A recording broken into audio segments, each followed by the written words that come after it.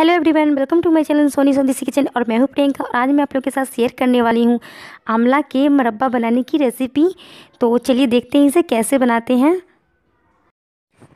तो मैंने यहाँ पे एक के जी आंवला ले लिया है और ये आंवला मेरा अपना पेड़ का ही तोड़ा हुआ है, बिल्कुल फ्रेश आंवला है। तो इसे आपको करना क्या है कि कुछ कुछ इस तरह से कोई भी नोखीला चीज़ आपको ले लेना है और इस तरह से, जिस तरह से मैं प्रिक कर रही हूँ, इसी तरह से आपको ही प्रिक करना है और चारों तरफ़ से कर लेना है इसको ऐसे ही। तो आप देख सकते हो कि मैंने इसे चारों तरफ़ से कुछ बड़ा बड़ा हॉल बना दिया है और आपको एकदम अंदर तक करना है इसे। जिस, इसका जो बीज है, उसमें ये ये मैंने जो नुकीला चीज़ ले रखा है, उसका मतलब बीज में टकराना चाहिए। इस तरह से कर लेना है सबको। तो आप देख सकते हो और उसके बाद मैंने इसे एक वॉल में डाल दिया है और पानी डाल देंगे इसमें। और पानी का जैसे मैंने पानी इसमें डाला तो आप देख सकते हो कि पानी का बिल्कुल रंग हल्का सा चेंज हो गया है और जैसे जैसे मैं सबको डालती जाऊँगी, वैसे वैसे पानी का पूरा रंग चेंज हो जाएगा क्योंकि इसका जो केसला फ़ैन है वो निकल, निकलेगा इसका।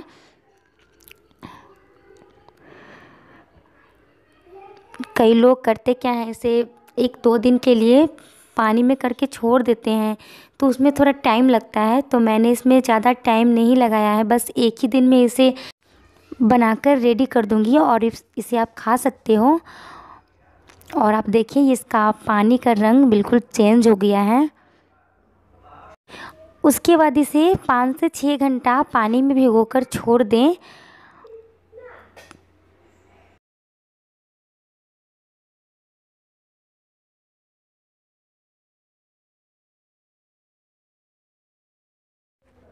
तो सबको मैंने पानी में डाल दिया है और उसके बाद इसे पाँच से छः घंटा तक पानी में भिगोकर छोड़ देना है। और उसके बाद इसे ढक कर छोड़ देना है आपको। तो पाँच से छः घंटा हमारा हो चुका है। अब एक बार इसे चेक कर लेते हैं। तो इसे मैं छान लूँगी इसके बाद। तो मैंने एक वॉल ले लिया है बड़ा सा। उसके बाद इसे मैं सबको छान लूँगी। और इसे गर्म पानी करूँगी। और गर्म पानी में इसे धोना है आपको। तो पानी गर्म हो चुका है और उसके बाद पानी, गर्म पानी से ही धो लेना है आपको इसको। और आप चाहो तो कढ़ाई में ही डायरेक्टली धो सकते हो। तो मैंने ऐसा नहीं किया है क्योंकि मैंने इसे दूसरी वॉल में डालकर इसे धो रही हूँ। तो मैंने यहाँ पे गर्म पानी इसमें डाल दिया है। इसमें मैंने यहाँ पे एक चम्मच, एक छोटी चम्मच से मैंने चूना लिया है और चूना से, चूना में कम कम से कम इसे दस मिनट तक इसे धोना है। तो इस तरह से हाथ से आपको मसल मसल के धो लेना है चूना के साथ। आप चाहो तो इसे फिटकीरी से भी धो सकते हो बट फिटकीरी में होत कर, होता क्या है कि बहुत टाइम लग जाता है और इसमें ज़्यादा टाइम लगता नहीं है। तो आप देख सकते हो इसकी रंग कैसे चेंज हो रहा है थोड़ा सा। और दस मिनट तक मैंने इसे छोड़ दिया है, चूना के ज़्यादा नहीं छोड़ा है। दस मिनट तक आपको छोड़ना है और ये आप देख सकते हो कि कैसे इसका पूरा मतलब चूना से होता क्या है कि जितना भी इसका कैसलाफन होता है, वो मतलब निकल जाता है, इसलिए चूना से धोया जाता है। तो मैंने इसे चूना से धोकर इसे छान लिया है और फिर से मैंने दो बार पानी से इसे अच्छी तरह से धो लिया है। और आप देख सकते हो कि हल्की हल्की अभी भी ये इसका जो भी रंग चेंज हो गया पानी का तो मैंने यहाँ पर दो बार पानी से धो लिया है। दो बार अभी धोया, फिर चूना डाल के धोया फिर पहले धोया मतलब तीन से चार, पाँच बार धोआ चुका है ये अच्छी तरह से। तो इसमें से सारा कसलाफन इसका निकल चुका है। तो इस पानी को हम साइड कर देंगे और आगे देखते करना क्या है। तो मैंने सारे हम लोग को धो कर अच्छी तरह से रख लिया है और फिर से पानी को आपको गर्म करना है। तो मैंने यहाँ पे एक लीटर पानी लिया है। और जैसे पानी हल्की सी गर्म हो जाए तो आप इसमें चीनी ऐड कर देना। तो मैंने यहाँ पर चीनी ऐड कर दिया है। मैंने यहाँ पर दो कप चीनी लिया है।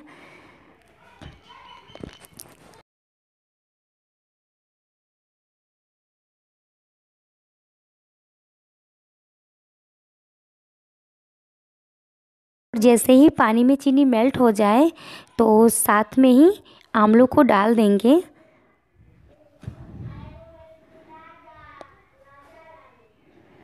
तो सबको मैंने डाल दिया है।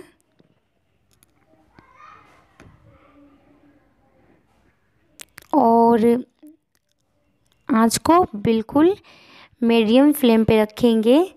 तो ये गैस तो है नहीं, चूल्हा है तो मैंने फिर भी कोशिश किया है कि ज़्यादा इसमें आँच ना लग पाए, हल्की सी आँच लग पाए, ताकि ये धीरे धीरे अच्छी से पक पाए। तो मैंने यहाँ पे चूल्हा पे बना रख, बनाया है क्योंकि मैं अभी, फ़िलहाल तो मैं अभी गाँव में आ रखी हूँ अपने घर। तो इसलिए मैं यहाँ पे चूल्हा पे बना रही हूँ। और आप लोग को तो पता ही होगा कि चूल्हा पर का खाना बहुत ही टेस्टी बनती है, गैस से ज़्यादा। तो मैंने सोचा, और इसमें ज़्यादा टाइम भी लगता है बनने में तो मैंने सोचा कि चलो चूल्हा पे ही बनाती हूँ। तो आप देख सकते हो कि ये हल्का हल्का सा ये बड़ा हो गया है तो मैंने इसे ढक दिया है। और ढक कर इसे छोड़ दिया था। तो बीच बीच में आपको देख लेना है एक बार, चेक करते रहना है। तो आप देख सकते हो, कुछ इस तरह से ये, इसका रंग चेंज हो रहा है।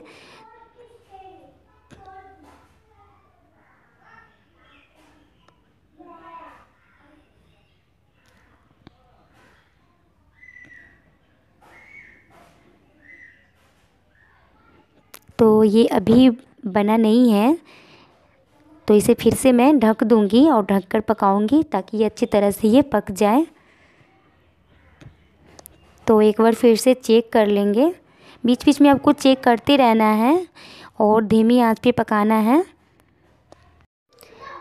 इसे देखकर लग रहा है कि थोड़ा सा भी और पकेगा, क्योंकि इसकी जो चाशनी है वो अभी बहुत ज़्यादा पतली है, हल्की सी गाढ़ी और होगी और साथ में आंवला भी हल्की सी और मतलब पकेगा। तो जब तक ये अच्छे से पक जाता है, तब तक मैं कि, मैं इसकी कुछ फ़ायदे आपको बता दूँ।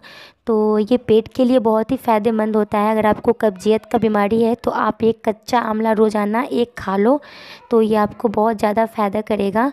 और अगर अगर आपको रोज़ाना कच्चा आंवला नहीं मिल पा रहा है तो आप एक बार मार्केट से लेकर कुछ आंवला बहुत ज़्यादा सुखा लो और सुखाकर एक कंटेनर में बंद करके डाल दो। और उसके बाद इसे आप थोड़ा थोड़ा खाते रहो डे, डेली सुबह खाली पेट में खाते रहो। तो देखिए कि कैसे आपका पेट ये साफ़ करता है और बहुत फ़ायदे होगा। तो मैं इसे एक बार चेक कर लेती हूँ आमलों को कि ये पक पाया है नहीं। तो मैं कुछ चाकू से ऐसे देख रही हूँ। तो आप देख सकते हो कि ये